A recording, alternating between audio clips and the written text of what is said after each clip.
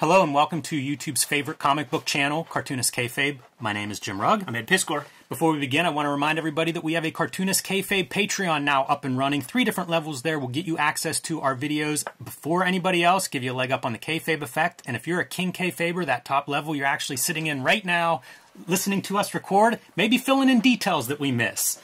So we welcome you to look at that Patreon and see what level fits you. We are also working cartoonists. You see our bibliography here on the screen right now. The best way to support Cartoonist Kayfabe is to buy our books.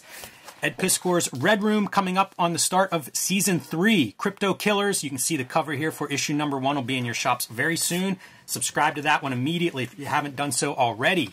Hip Hop Family Tree, the Omnibus, collecting all of the Hip Hop Family Tree comics plus 140 extra pages. This one will be out later this year. It's going to be the perfect gift this Christmas season. Uh, oversized, gold foil cover. This is going to be beautiful. So pre order that one if you haven't already. His other books include Wizzywig, Hip Hop Family Tree still available in Treasury oversized editions, three volumes of X Men Grand Design, and an omnibus of X Men Grand Design. So pick those up along with the first two volumes of Red Room if you haven't already. My next book, Street Angel Princess of Poverty, up for pre order now from Image Comics, featuring the homeless ninja on a skateboard and collecting all of the Street Angel comics that are not in Street Angel Deadliest Girl Live, recently brought back into print from Image Comics. Get both books, you'll have the complete Street Angel series. My other recent books include Hulk Grand Design and The Plain Janes. So today we're going to look at Paul Gulacy's early Batman comics, issues 393 and 394 of Batman. This is from early 1986. I thought these were much older. Yeah. I've been looking at a bunch of Paul Gulacy lately. I saw a couple of panels from this run. Picked them up at the uh, recent Ides sale. Super happy to add those. Had no idea they were 1986. I thought this might have been from the 70s. You know, in my mind, this was right after Masters of Kung Fu. Paul Gulacy and Doug Moench went over to Batman. Right. I was wrong. Such an iconic cover to me. Great coloring. I've, see, I've seen that reprinted uh, a lot of times, and it's so evocative. You know, it, that like that's the kind of cover that you want on your your book, man. Batman looking pretty freaking cool. Definitely the highlight figure. Uh, it has all of the hallmarks of like good design where there's a hierarchy of stuff that you're looking at. You know, like yellow is a is a cheat tool. You know, to like sell you on Oh, focal po- focal point. So you want to see Batman, and you see that there's concern on his face. And then the secondary places those cool blues, you know, and then you realize like, okay, he's got a lot of blades sticking at him. Uh, he's framed by them. It's just it's a fantastic piece of uh, comic book art and uh, very well designed. The second one is a pretty boilerplate comic book cover. Yeah, very. Uh, I hate to say uninspired, but you look at these two covers, and one of them I think is really strong, and one of them isn't. Yeah, it's more more sort of an average comic book cover, but such a pleasure. The first time I uh, looked at these comics, first time I ever read these, I start uh, checking out Batman. Like I'm gonna be five years old in in you know '86 at, at some point. I think uh, born in '82, four cl- close to five. Uh, the Magpie issue, which is like 401, something like that, is my first Batman comic, and I pretty much read that through until Batman gets his back broken, almost on a consistent basis. Uh, get the new a new copy every every single month with like little spurts here and there if something was uh, really popped that I didn't you know get to the grocery store early enough.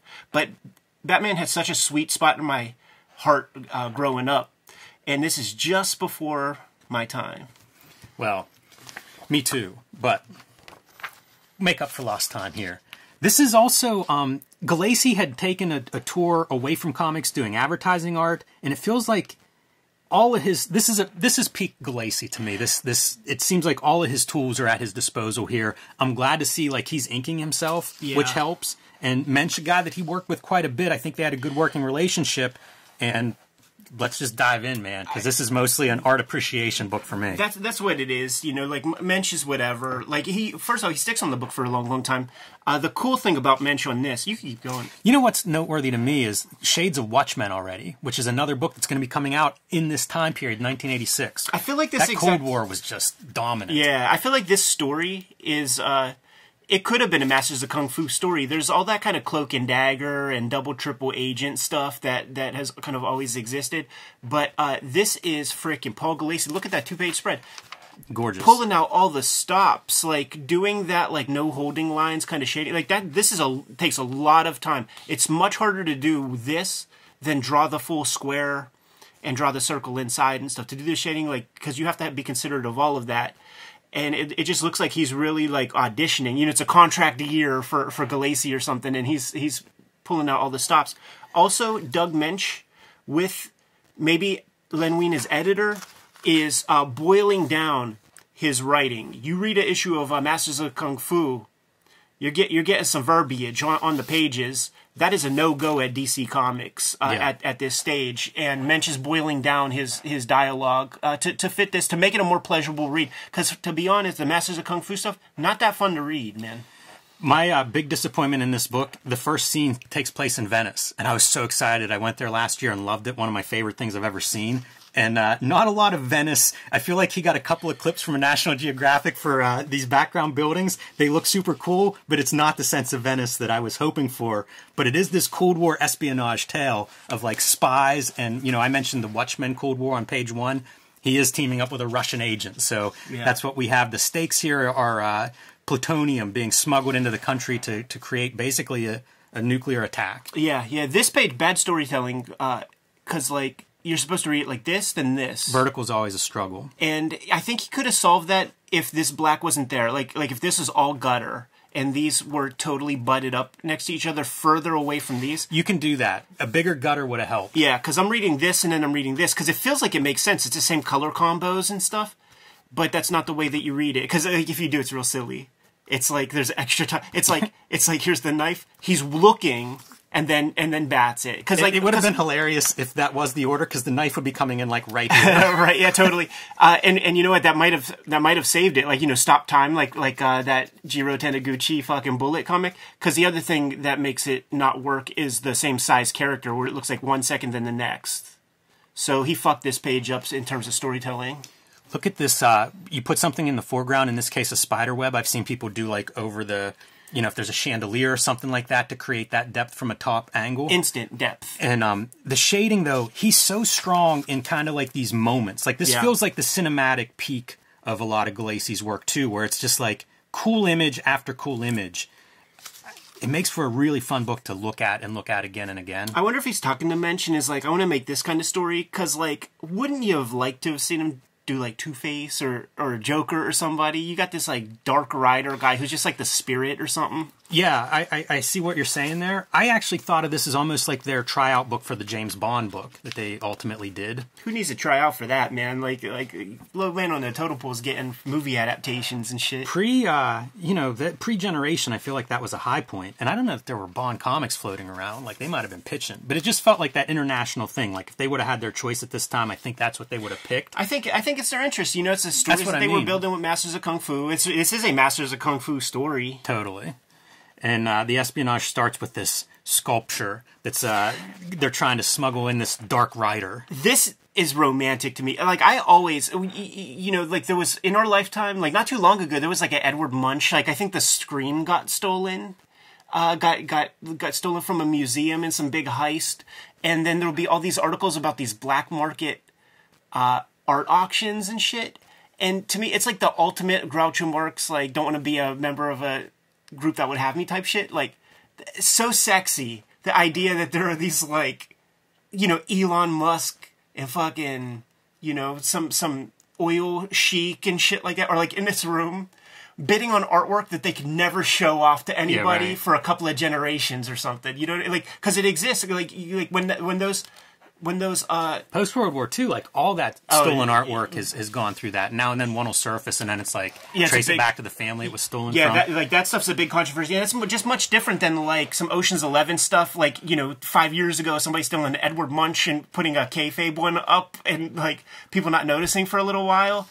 Uh, and and doing something like selling it. You know, they're not just like holding on to it for a couple generations. There are people who are buying it, and it's like, what is that? What is that world? I'm so fascinated. If there are any documentaries or books about that, like let me know because that's something. This is hitting a sweet spot for me. I'm very curious about that too, because in my mind that that can't really exist. And if it does, I want to. I, I would be curious about that. You, Karl Stevens works at that museum in Boston or wherever, where like the biggest art heist of all time was, and there are podcasts on it where like none of that stuff has surfaced. They've never tracked down one piece of stolen art or anybody that they think did it.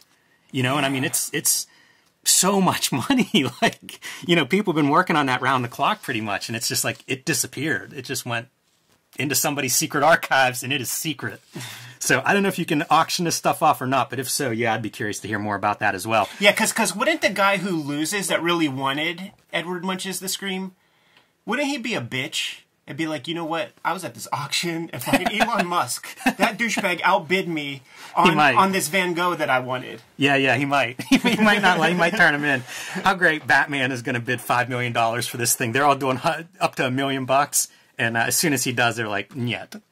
yeah, they're taking it right. Auction's over. Yeah, because they're kayfabe and they're, they, they're setting it up so that a specific guy gets it because they want to put the, there's a bounty. it's a Trojan horse. They want to put the bounty into the hands of some guy. It's almost math the way he composes stuff. Yeah, you know, like all these characters in the different planes with Batman in the middle. He's he, Gulacy's kind of unequaled in certain ways with this. I, I look at a lot of this stuff and I think about Steranko, one of Gulacy's primary influences.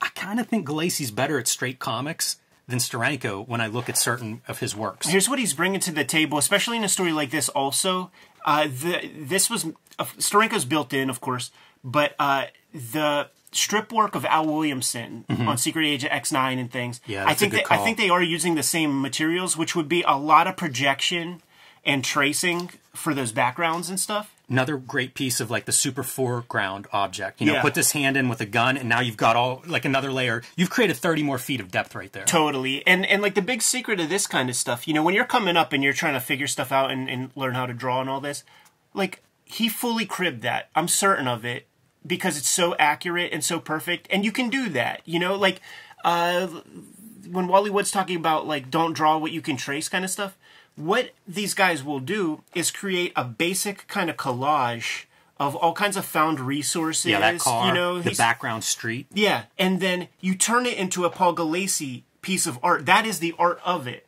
and that is where things are divorced now. Like with with modern comics, with with the tracing of stuff, where it's so pixel perfect and all that, and it's so stiff and rigid.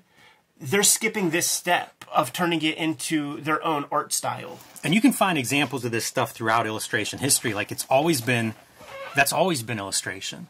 Yeah, you yeah, know, finding reference and then folding that in one way or the other. Yeah, there's no reason to on a monthly comic to sit down and figure all of that shit out.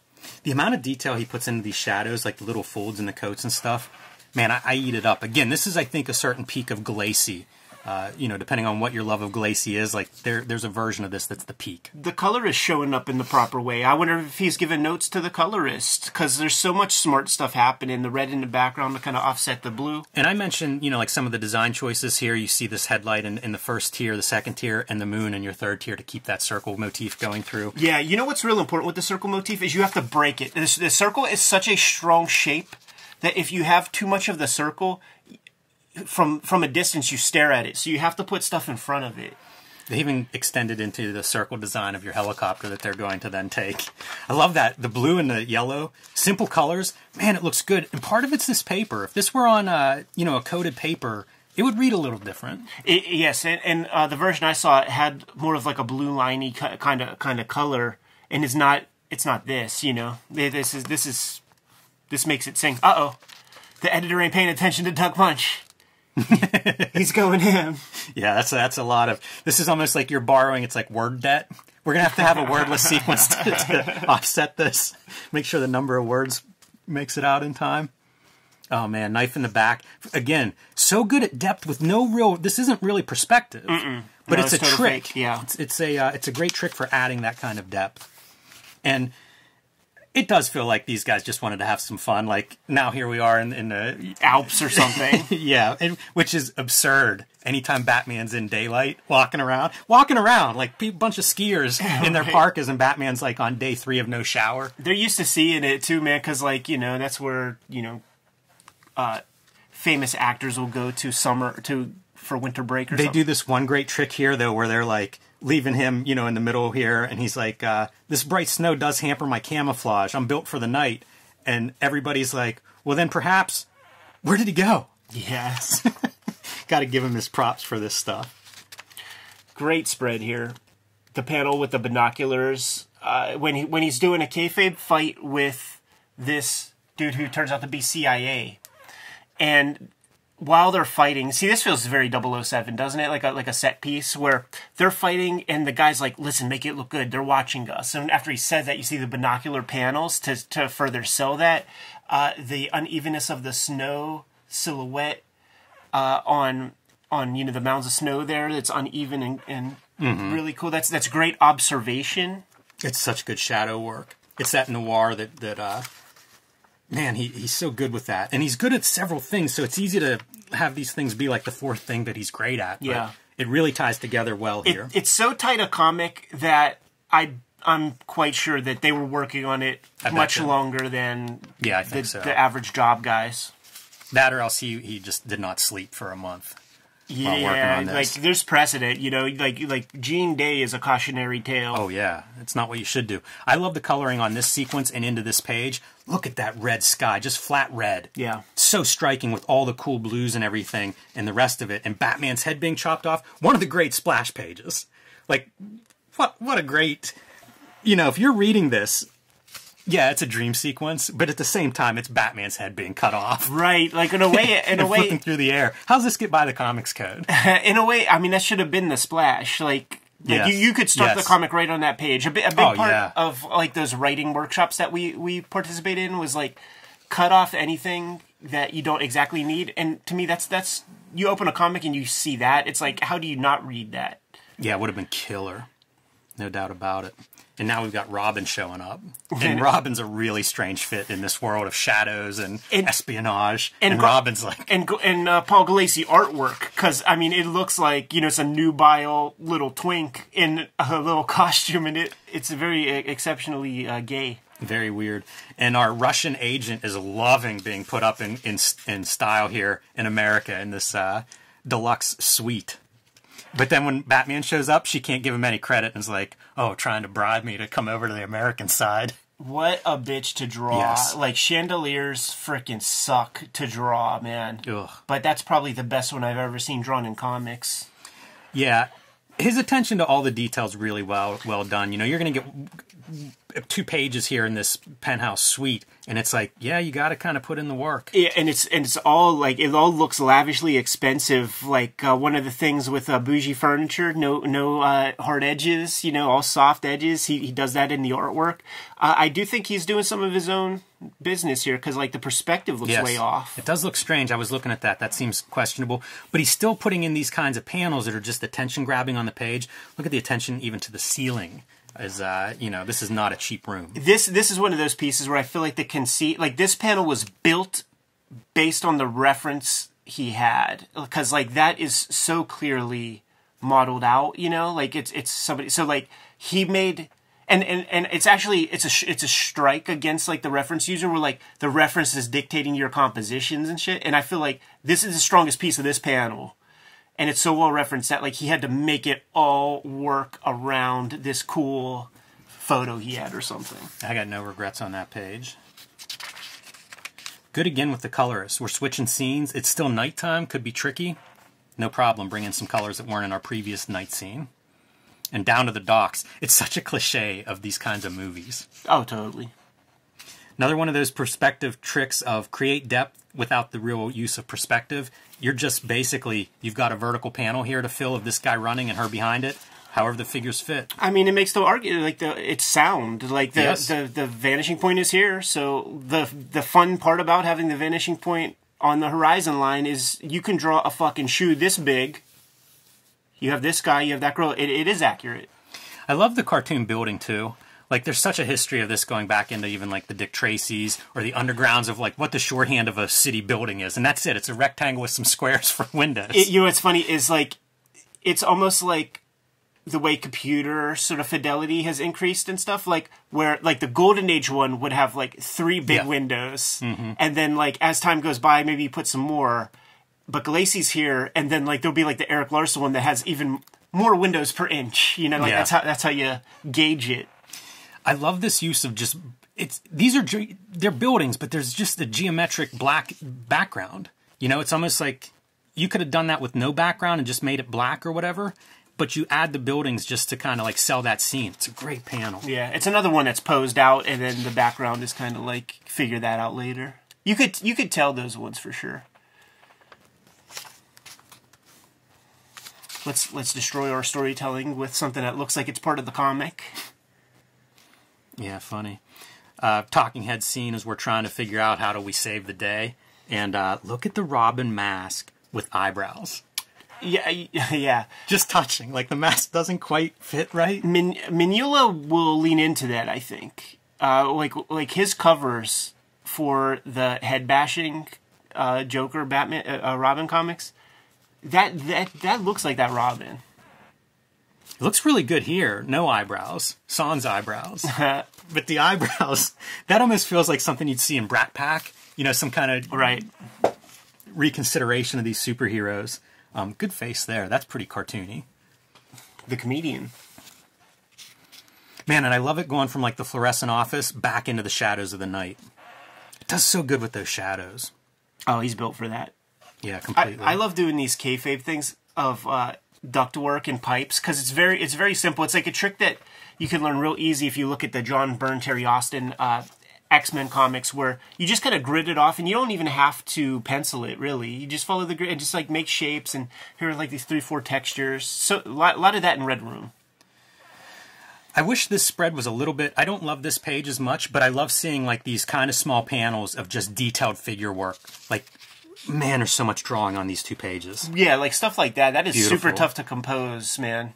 Because because now he's playing with three point perspective, and you you, you got to get that character in the distance, and it just it all looks good. This kind of stuff too, like it's it's a photorealistic style, I would say, that he's employing for Oh, this yeah, story. sure. And then to have figures running, it can be really hard to do that in a way that keeps that kind of realistic style You- going. Yeah, you gotta you gotta make that stuff your own because a running pose is very underwhelming when you f- photograph it, even at the apex moments. Uh, unless you're Usain Bolt or something, it doesn't look that heroic. Or, Look at how much detail he's packing into one panel where we've got essentially five figures here, you know, and you go all the way back and it's Batman and his enemy in silhouette, but it's still five figures in this one little tiny, you know, ninth size panel. he is a storytelling dynamo. Love this too of breaking this tier of panels. Yeah. Good use of an open panel, as Bill Griffiths would say. Did you know he's doing a uh, Ernie Bushmiller biography graphic novel right now? No. That guy's unbelievable. Yeah, yeah, yeah. Doing more work in, in age seventy than he did when he was, you know, thirty. Yeah, really wild. Um, love this as a center center piece. And you know what, man? I remember Cable and X-Tinction Agenda, Jim Lee X Men kicking down the door in the danger room. Looked a lot like that pose.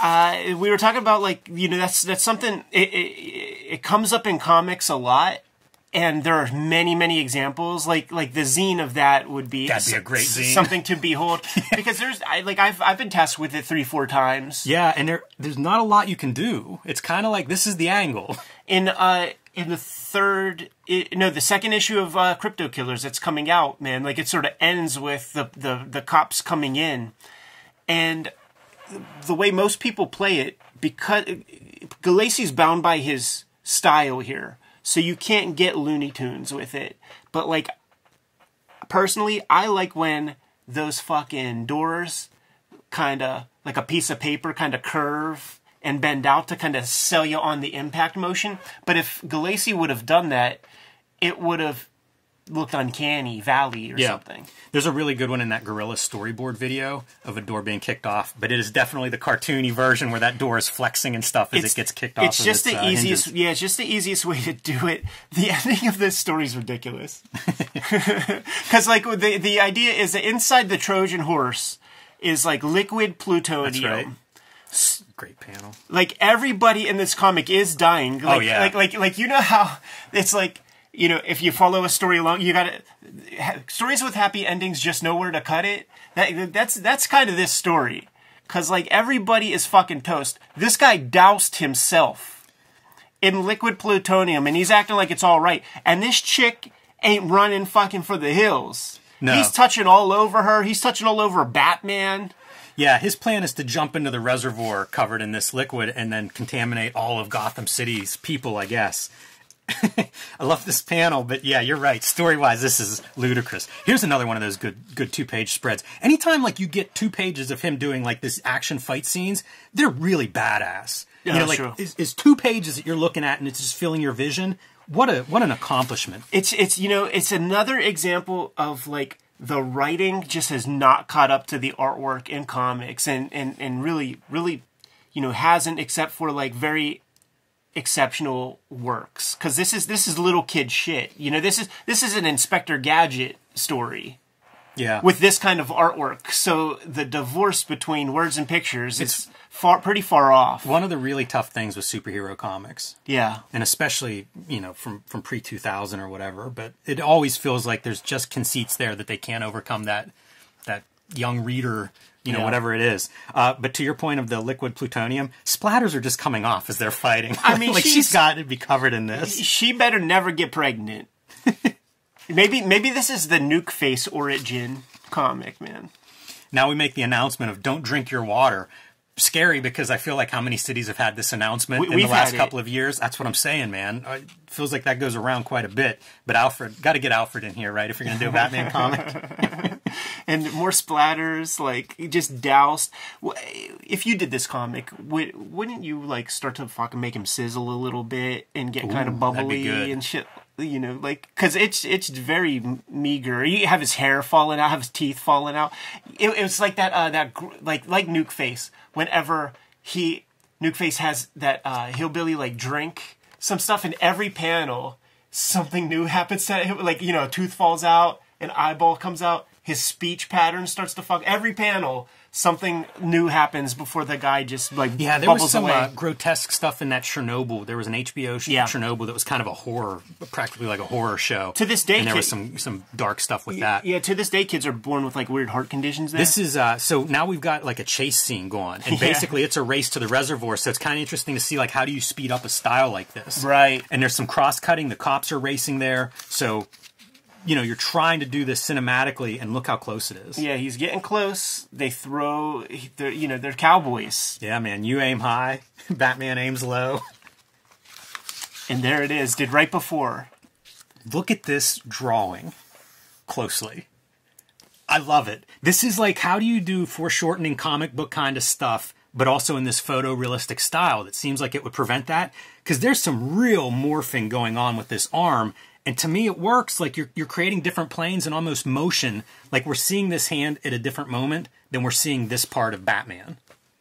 Yeah, true. And and like you know, he does his own kind of like the lighting on this is weird. You know, like like that would have been lit probably, uh, but you know, Gulacy does his thing.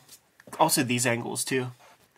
Yeah, whenever the uh, reference breaks down, sometimes you'll see some really creative drawing. You know, like this is not something that he had foreshortened a photo reference for. Yeah, totally. And and that's that's also the thing that lets you know that like this dude for all the stuff we talk about photos that that is not pejorative.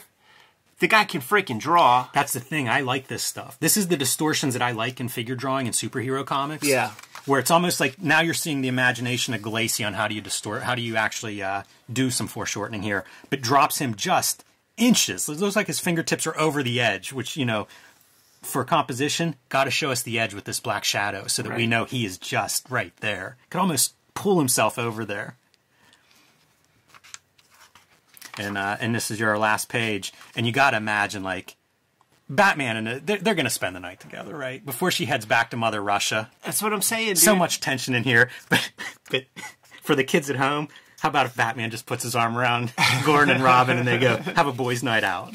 Let's have a couple drinks, So fellas. all these people, man, are contaminated, except for these smart ones here. there are puddles of plutonium that they're essentially standing over. Just just vapors just coming right in. Probably ruining their film as well. Yeah, right. Oh, dude, look at that, man. What do we got here? We got circulation numbers. Uh, holy cow, dude. Average numbers of copies each issued during preceding 12 months. Take a guess. That's low. I, I did. I seen it. 75,000. That's not a lot. Wow, no, it's not a lot at all. Like when we talked to Rob Liefeld about New Mutants being like becoming direct market only, I think Marvel's cutoff was between 90,000 and 110,000 copies, and that would have been in the late 80s. This is 86, and Batman is struggling. 75,000? You know that that's that's. uh There are other numbers here, and it just can't be right. That that has to be something very specific. So average number of copies, this is um this is your net press run. This is your total printed copies, 195,000. That has to be per issue. Yeah, yeah, yeah. That's your average per issue, 195,000. Okay. But I mean, like, these are way below, like, the Hulk numbers that I print in Sure. uh, Hulk yeah, yeah. Marvel, Design. Marvel was eating their lunch. They really were, man. This is Batman. Yeah, At yeah. under 200,000 copies net. Probably- And under 100,000 copies sold. Yeah, yeah, and, and it's probably you know the top tier book at the time. That's true. Like, imagine. Everything else is 20, 30,000. Which which is very curious because I mean we find those old com. You know you could find cool uh, Oh, Teen Titans yeah, and stuff like sure. that for, for, in the dollar bins. This says the uh, the actual number of copies of single issue published nearest to this filing date, 164,000. They're plummeting. Yeah, that's pretty weak. Like like from That's- your average of 195,000 over the last 12 issues, the most recent's at 164,000, which probably means the one that was 12 issues ago is probably 225,000. That's uh that's 2023 numbers for uh, the best of those big big comics. That's wild. I can't believe those numbers were so low and I missed it. So Bigfoot was my life. Yeah. And, and probably the or a couple years before this, Bigfoot would have been my life. Like I my 5 or 6 years old, this was the thing. Well, flip it because cuz this is my thing, dude. the animal, I I remember this one too. the frickin' mon- toy monster truck Perfect. that uh and and you got to set set the time because there were always commercials for like the latest greatest radio cars like uh, remote control Mm-hmm. cars like that was that was a big deal but only one that had fucking animal claws Yeah, these things would come out and there were 3 per wheel. Yes. Which which imagine triangles instead of instead of circles for wheels. because it was also plastic so it's not even rubber and the idea was that you're supposed to be able to um, overcome certain terrain Mm-hmm. and what would happen is it would just topple backwards but the commercial The animal, the animal, nothing could stop the animal. Like burned into my brain from That's age great. five. You know, like like uh, the, it, like the advertising worked on me. I did not have it. I never had one remote control car. Them shits were expensive. They Yeah. were a hundred dollars back then. I, I would always see them at Radio Shack would be like the the high end remote To- control yeah, to- cars. those are the ones that you would see adults with, and they would even take gas. Those Wow. things, man, they would be gas powered and go way faster. But like, there would be the whole aisle at uh, Kmart and stuff, and my, and my folks were just like, "Don't even look at that shit. You're like, don't even. You're never getting one of those." And then uh, you would get those for you know your aunt or something on Christmas. Will get you those like ten dollar ones that has a wire to the control. You remember yeah, that yeah, shit? yeah. I have those. what, what do you do? You gotta like walk with it, and it goes an inch per second or something. That's amazing. This uh, I saw monster trucks about this time, and it was too. like Bigfoot and USA One at the Civic Arena. yes, I, I used to go to all the time. I have photos inside I a tire of stuff. of OG Bigfoot that is like a, a pickup truck with big ass tires. Like like I have Yeah. I have photos with that one like in the big tire. Like these ones, I like like what is that chassis? It's like custom or something. But like the OG Bigfoot was a fucking pickup truck Yeah, it was a Ford. that just had giant ass tires. And I, I, I was four years old going to see that thing. They used to be so like I watched a documentary on them from that time period recently, and like they would crush the cars and they would drive so slow because the suspensions weren't really built for what they were doing. So Right. it would just be like, and then stop on the cars and then drive off, and it's like, yeah, it's the greatest thing ever. We're showing off Oh, boy. our Pennsylvania-ness, man. I love this. these though, man. I had a great time with those. Like I said, I've been on a Paul Gulacy kick, and I think these are really top notch Gulacy. Yeah, great comics. So happy to read them. So yeah, actually look into the cover of that first one. You know, like it. It's one of those rare instances where the where the uh, interiors, like the the cover, you know, and the interiors kind of line up. It's so good to have an artist that does both. Yeah. Because if you love this cover, you're in business, man. Open, Yeah. pick it up, open it up, enjoy yourself. The other Gulacy uh, Batman that we may want to look at at some point is the Legends of the Dark Knight Prey Yeah. storyline, which I have, but I, I, if I read it, it was years ago. Whenever you know, like whenever I got it, that story is a sequel to Batman Year One. So like they mimic the the captioning, lettering styles, and everything like that. I think that's a cool gimmick, but uh, I don't know how good that comic is because I don't hear many people talk about it, you know. And you think if you did a decent Batman Year One sequel, Right. It, it would. I just found out it was a sequel to Batman Year One within the last year, so you'd think that'd be pretty knowledgeable if that were uh, done well. You know, there's periods of Gulacy in that later period. You know, the fast the fastball. He ain't Nolan Ryan. Good to go. Yep.